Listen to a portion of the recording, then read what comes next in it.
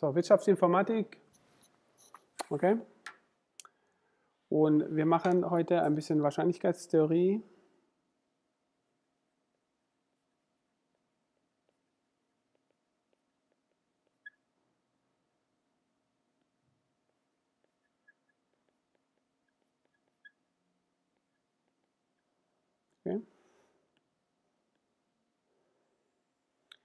Für den einen oder anderen schon bekannt, mit Sicherheit, aber ähm,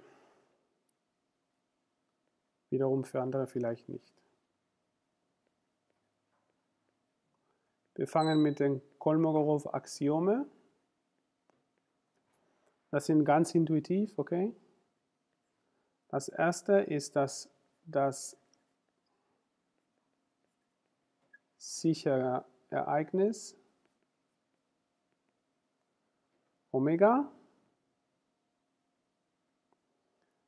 äh, hat eine, wenn ich W schreibe, heißt Wahrscheinlichkeit von 1. Okay? Wir stellen es äh, folgendermaßen dar. Unsere Welt ist äh, dieses Viereck, okay? Und dieses Viereck hat eine Fläche, hat eine Seite von 1, 1 mal 1, also eine Fläche von 1. Und das sichere Ereignis ist die Fläche.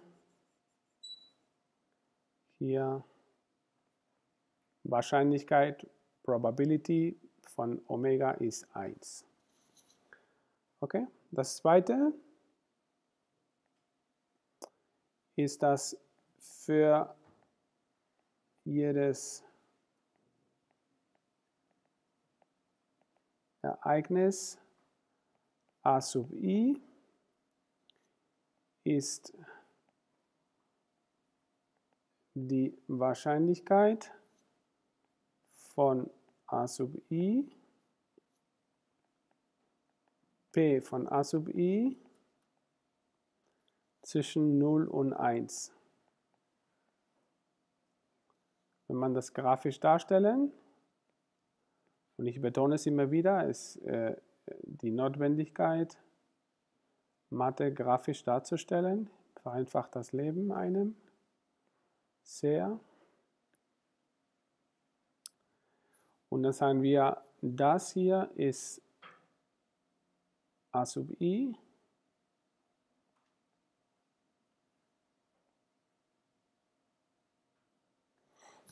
Okay. Wir können sagen, dass die Wahrscheinlichkeit,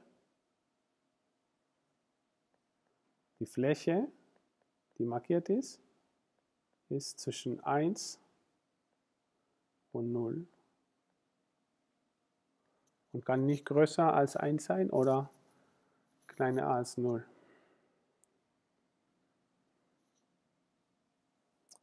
Das dritte Axiom von Kolmogorov Axiom ist etwas, was wir nicht äh, ähm, prüfen werden. Also wir geben keinen Proof, es ist ähm, intuitiv. Die Wahrscheinlichkeit einer Vereinigung abzählbar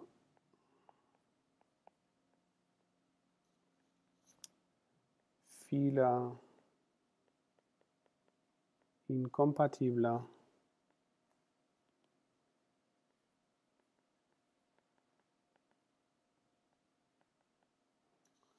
Ereignisse.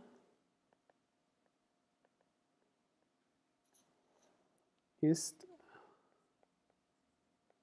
die Summe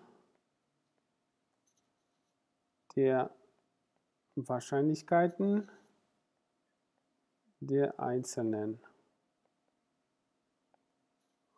Okay? Da schreibt man Wahrscheinlichkeit von A1 oder A2 ist gleich BA1 plus BA2, sofern A1 und A2 sind nicht kompatibel. Also äh, die findet nicht, finden nicht gleichzeitig statt. Das kann man grafisch wunderbar darstellen, folgendermaßen.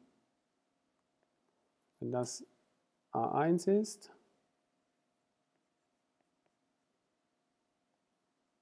und das A2,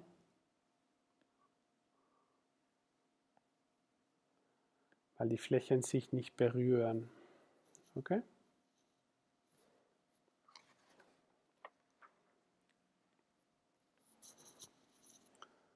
Dann gibt es, das sind die Axiome.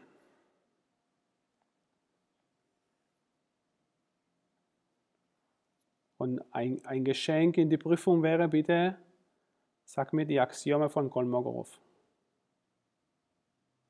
Das wäre wirklich ein Geschenk. Okay?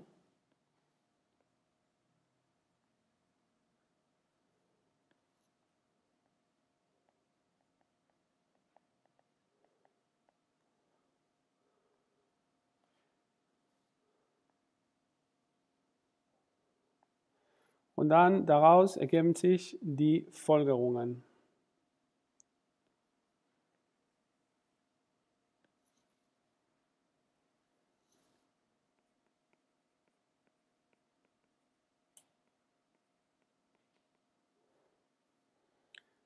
der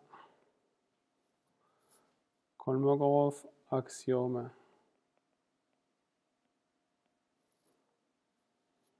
Okay.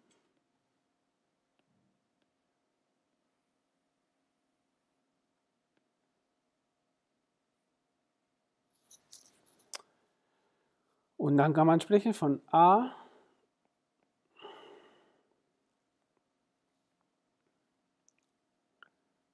Aus 3 folgt dass komplementare Ereignisse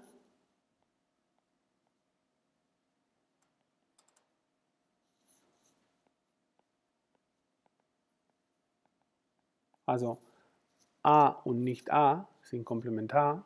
Okay?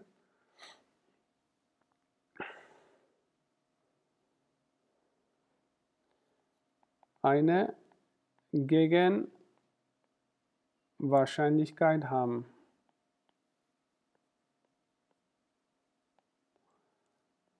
Das heißt, dass die Wahrscheinlichkeit, dass P oder die Wahrscheinlichkeit, dass B, äh, dass A stattfindet, ist gleich 1 minus die Wahrscheinlichkeit, dass nicht A stattfindet.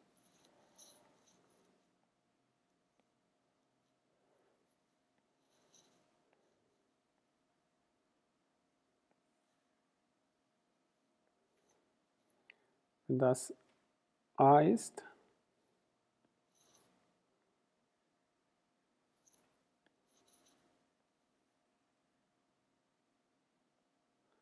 Das ist, das Grüne ist nicht A. Und zusammen ergeben 1.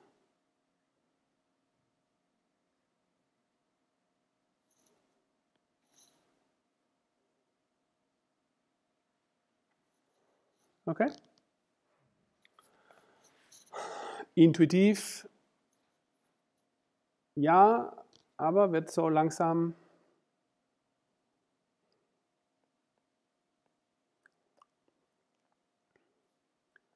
aus A folgt, dass das Unmögliche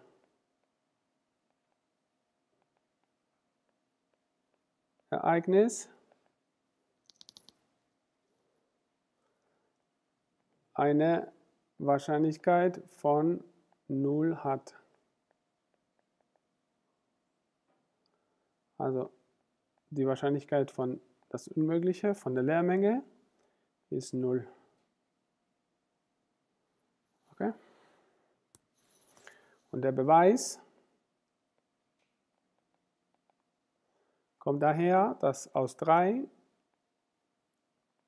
wir haben, dass die Wahrscheinlichkeit von äh, leere Menge und äh, das sichere Ereignis ist gleich leere Menge plus das sichere Ereignis. Aber weil wir wissen, dass das aus 1 das sichere Ereignis 1 hat und das ist auch gleich 1, folgt, dass P0 gleich 0 sein muss.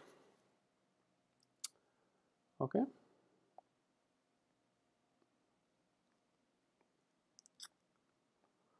Und C für die Vereinigung.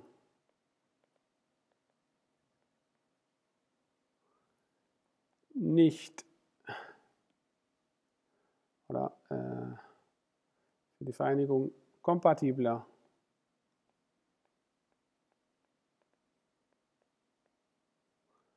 Ereignisse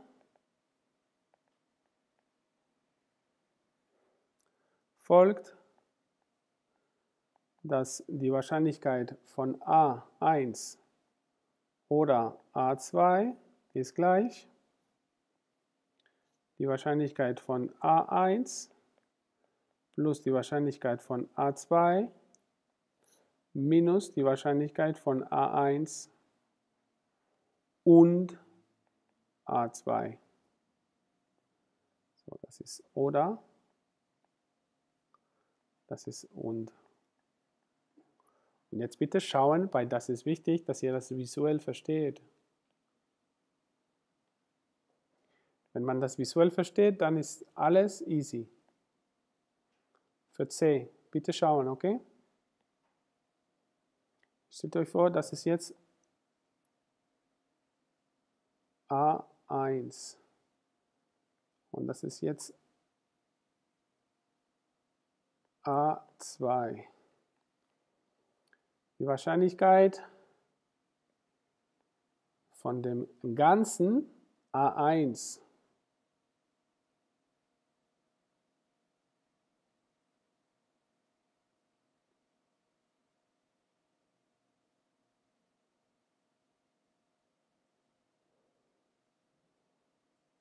und A2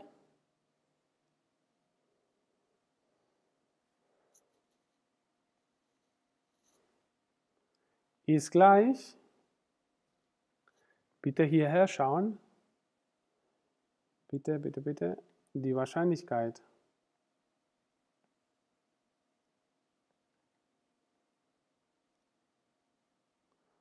Von A1, ich mache den A2 hier grau,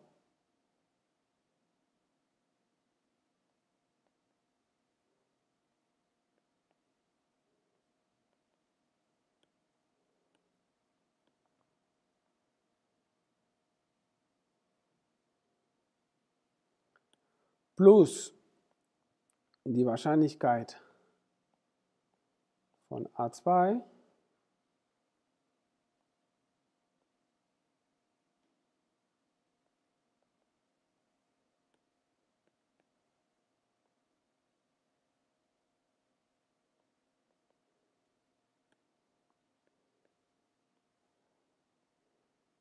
Ah, lass mich eine andere Farbe wählen.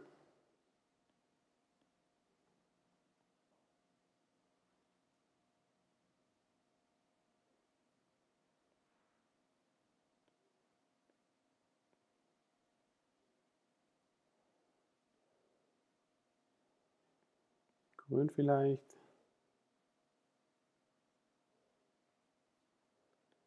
Minus einmal die Wahrscheinlichkeit von beiden. Warum? Weil ich schon einmal, also zweimal berücksichtigt habe.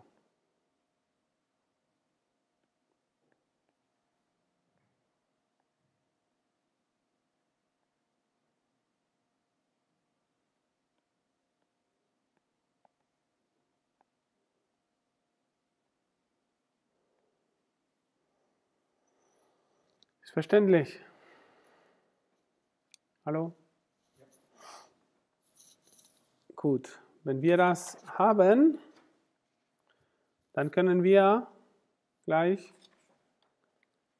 die, äh, das Konzept der bedingten Wahrscheinlichkeit.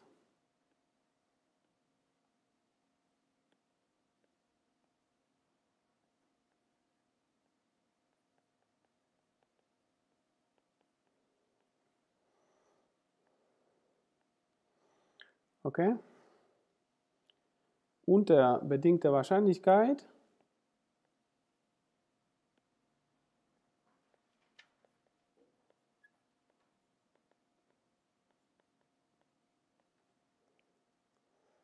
versteht man,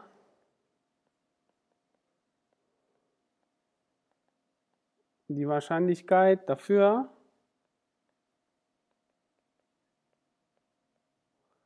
dass das Eintreten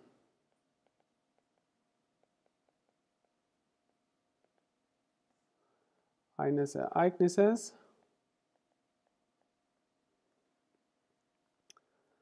a sub i unter der Voraussetzung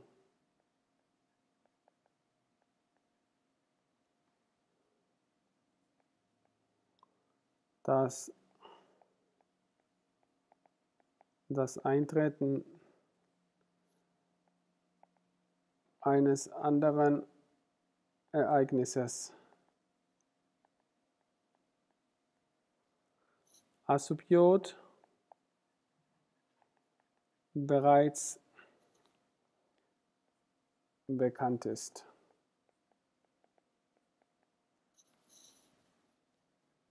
Okay? Man schreibt P sub AI vertikale Linie AJ oder äh, für und man liest es Wahrscheinlichkeit von A sub i und der Voraussetzung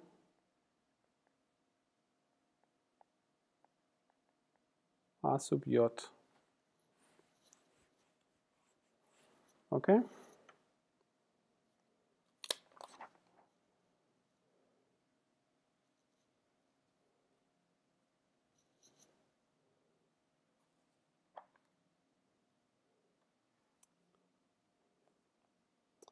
Man sagt, Laplace definiert die bedingte Wahrscheinlichkeit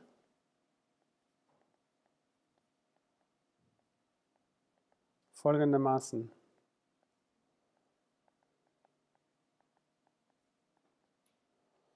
Also Wahrscheinlichkeit von A sub i unter Voraussetzung A sub j ist gleich die Wahrscheinlichkeit von A sub i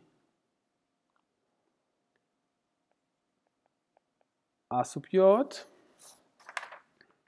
also A sub i und A sub j gleichzeitig, geteilt durch die Wahrscheinlichkeit von A sub j. Aber das ist auch gleich, äh, no, wir lassen es so. Okay.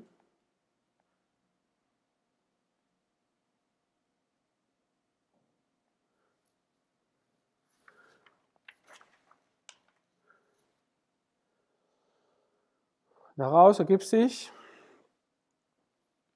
dass Wahrscheinlichkeit von A sub i und A sub j ist gleich die bedingte Wahrscheinlichkeit mal A sub j. Aber das ist auch gleich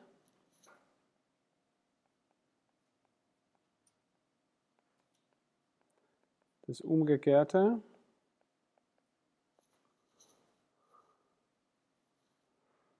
Okay? Und das führt zu der sogenannte Satz von Bayes.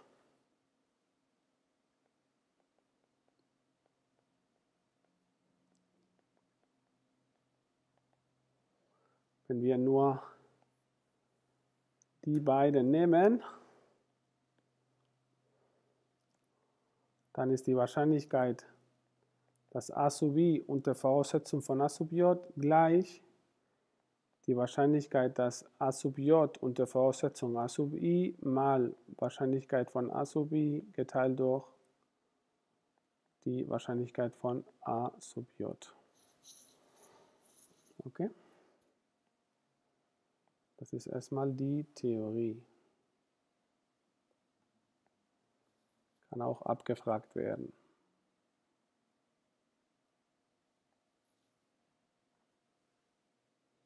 Fragen? Oder war, war das zu schnell? Sollte ich was wiederholen?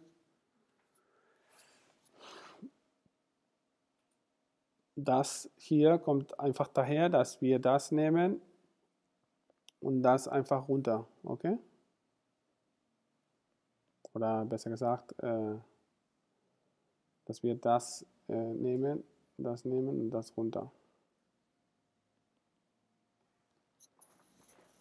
Okay? Fragen zu dem Thema äh, Wahrscheinlichkeitstheorie?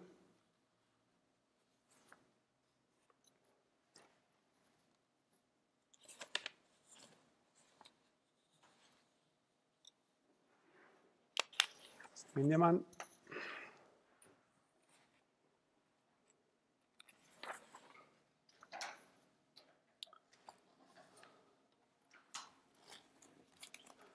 diese, äh, diese Zeichnungen, die ich bemalt habe, heißen Venn-Diagramme, okay? V-E-N-N.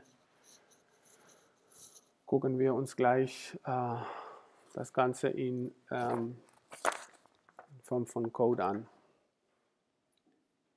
Okay, ich sehe keine Fragen in der Runde, also ich stoppe das Video kurz. Der Visualisierung von sogenannten Sets, okay? Das sind diese Venn-Diagramme, die ich gerade äh, in der Theorie dargestellt habe. Import PyLab als PLT das ermöglicht, un, ermöglicht uns die äh, Visualisierung. Install ähm, matplotlib underscore when and from uh, matplotlib underscore when import wenn 3, also Zeichnungen mit drei Gruppen. Oder wenn drei Circles. Okay, das sind einfach nur Pakete, die wir halt benötigen, um äh,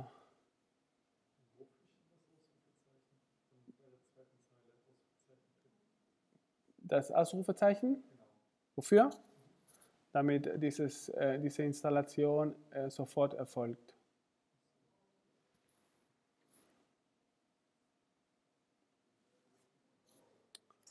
Okay, so das ist das erste. Und dann können wir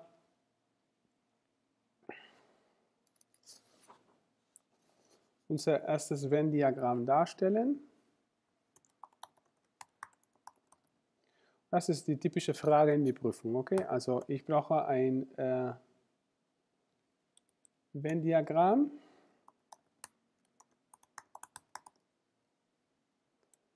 Ich schreibe gleich, was jede Zahl bedeutet.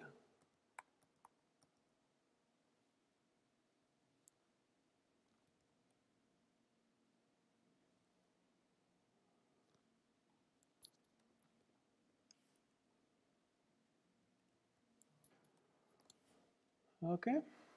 Was bedeutet jede Zahl? Sage ich gleich. Erste Zahl.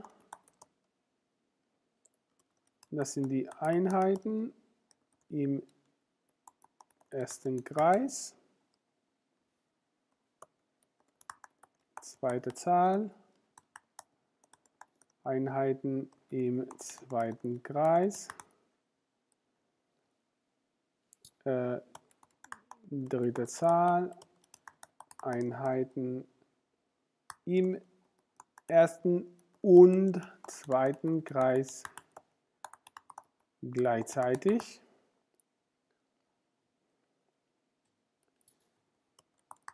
Vierte Zahl. Einheiten im dritten Kreis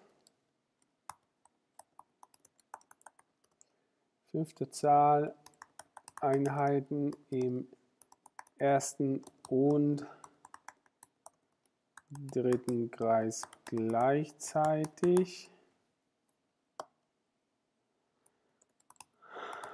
Sechste Zahl.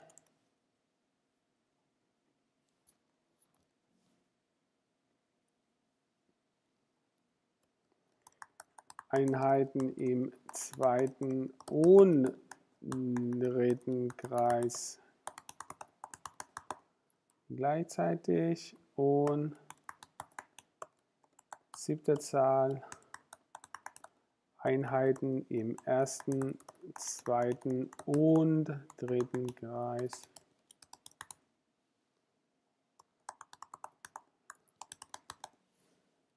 gleichzeitig. Und ich sage jetzt Shift Enter,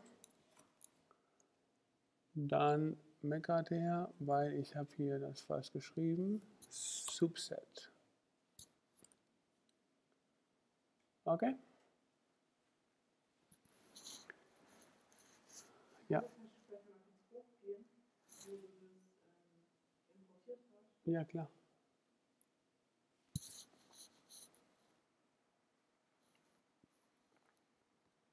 Ist irgendwas nicht klar?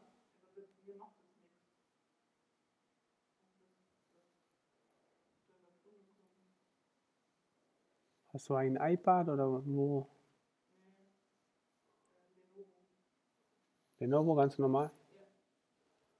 Okay, warte mal.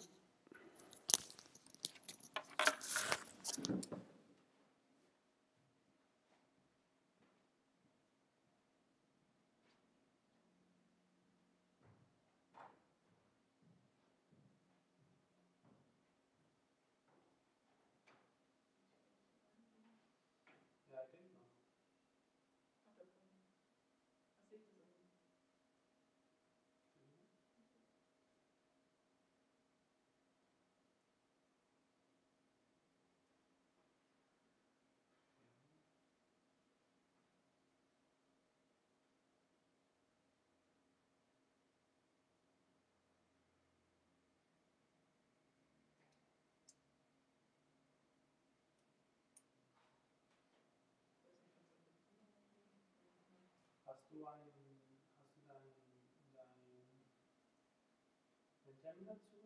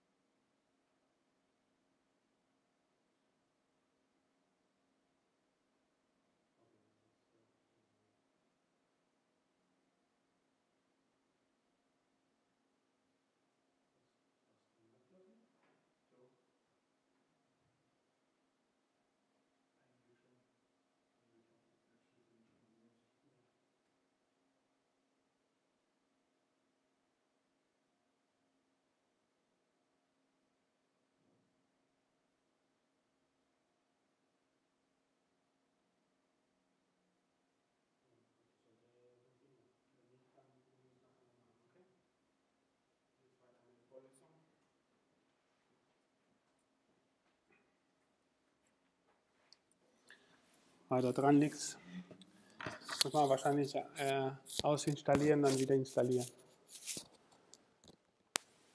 Okay, so das ist äh, das erste Beispiel von Venn-Diagramm. Wir können auch ähm,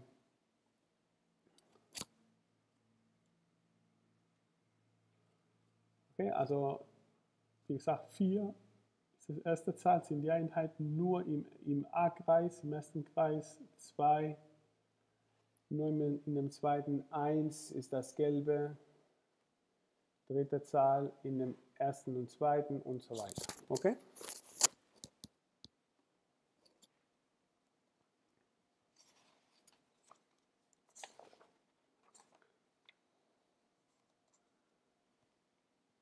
Wir können auch ähm,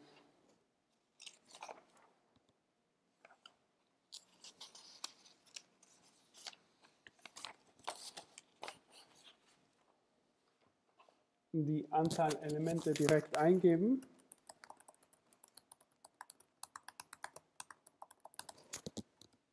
Okay, zum Beispiel können wir sagen, ähm,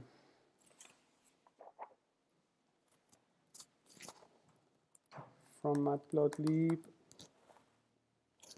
underscore event import ven2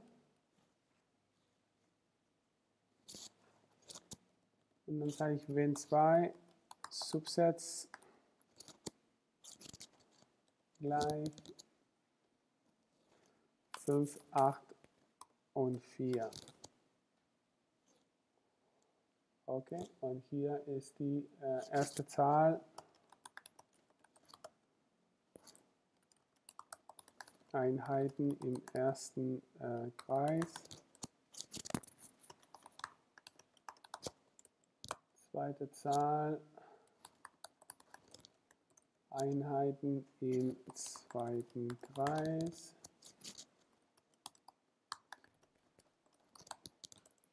Dritte Zahl. Einheiten im ersten und zweiten Kreis.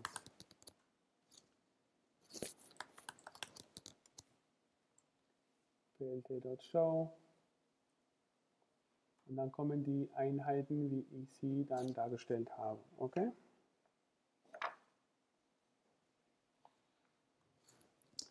Ich kann auch eine Standardbezeichnung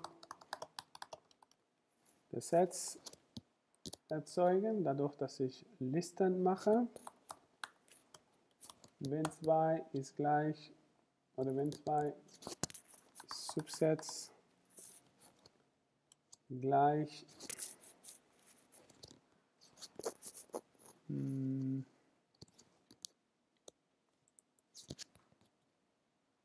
hm, wo sind die Klammern da?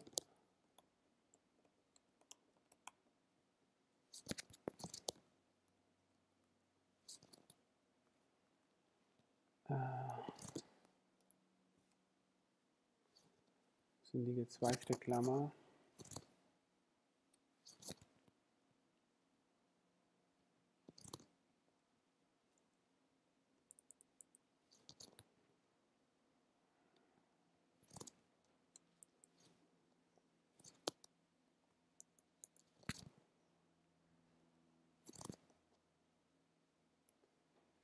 Die da. Und dann sage ich äh, 10 Doppelpunkt 5, Komma 01 Doppelpunkt 8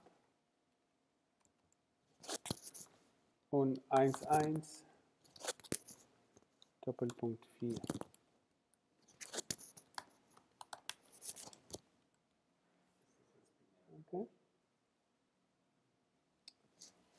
das benutzt das binäre Code, okay? 1, 0 ist die erste Gruppe 1 wird benutzt, die zweite Gruppe 0 wird nicht benutzt. Okay? 0, 1, erste Gruppe nicht, 0, Zweite Gruppe 1, wird benutzt 8. 1, 1, beides ist 4. Okay? Das ist binär. Ist verständlich?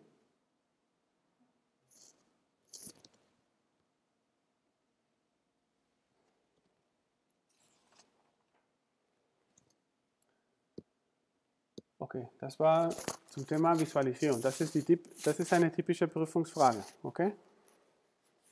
Sind einfache Punkte in Anführungsstrichen, wenn man es mal gemacht hat.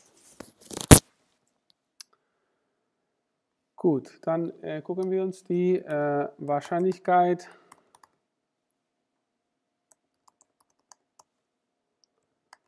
mit Bias an. Dann im Beispiel die Wahrscheinlichkeit dafür, dass wenn ein Paar Kinder, wenn ein Paar äh, zwei Kinder hat,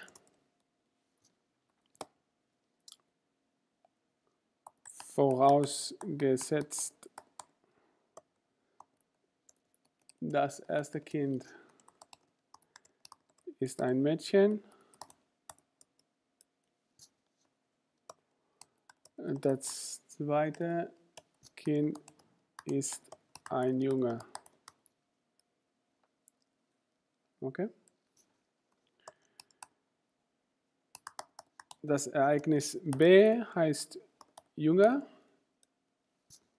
Boy, okay? Das Ereignis G, Girl heißt Mädchen.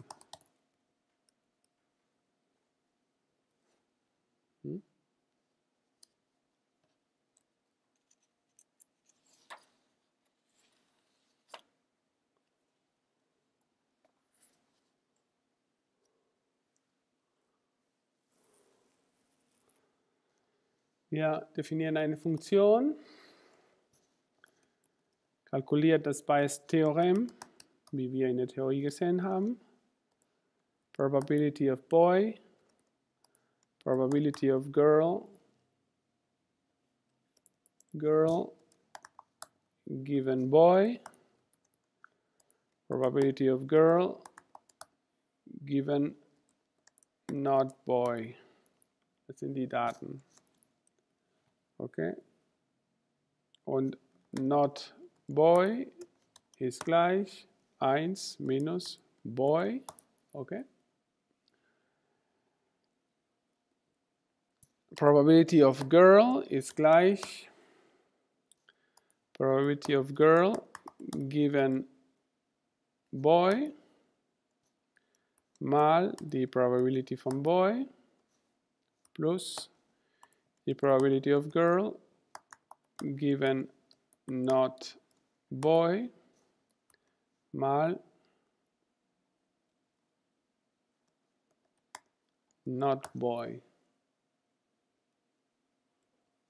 Das ist der Bayes-Theorem, okay? Und die Probability of boy given girl ist gleich the probability of girl given boy mal probability of boy geteilt durch die probability of girl.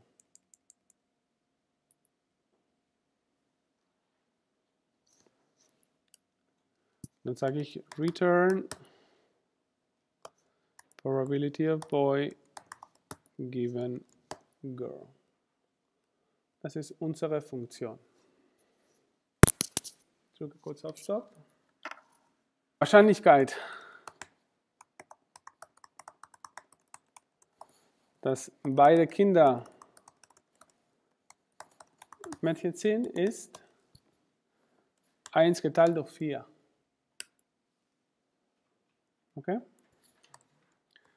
Heißt, die Wahrscheinlichkeit, dass ein Boy ist,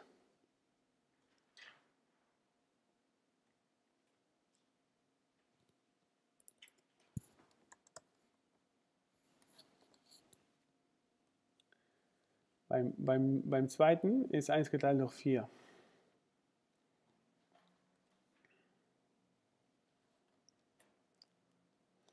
Die Wahrscheinlichkeit,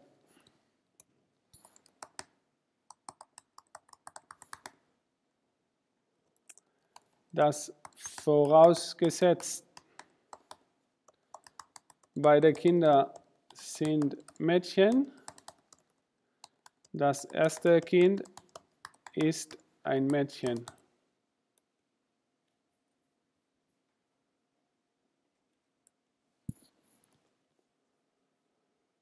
Was ist das?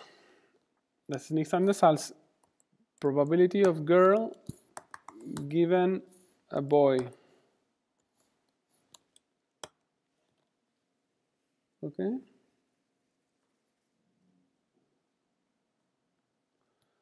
Und das ist gleich 1.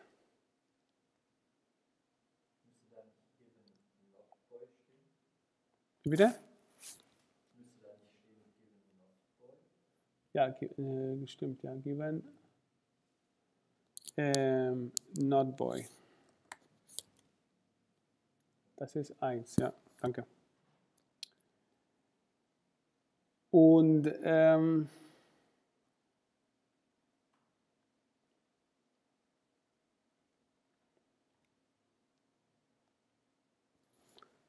die Wahrscheinlichkeit, dass vorausgesetzt beide Kinder sind nicht Mädchen, das erste Kind ist ein Mädchen.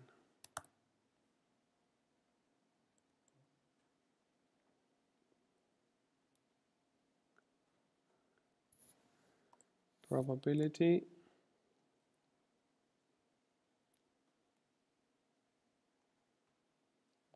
Nein, nein, nein, nein, äh, nee, warte mal.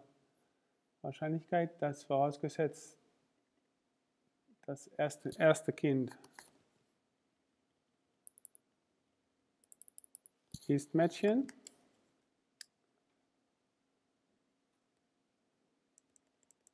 Das zweite ist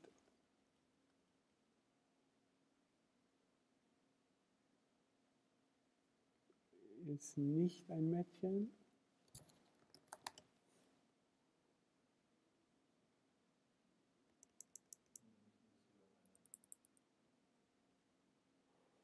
Genau, so ist richtig. Given not boy ist gleich 0,32 oder 0,33.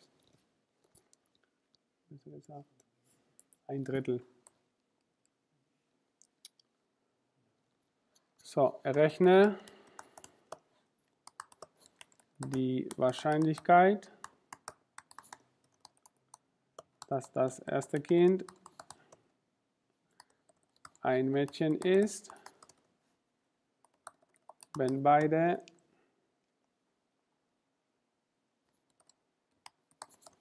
Mädchen sind. Ja.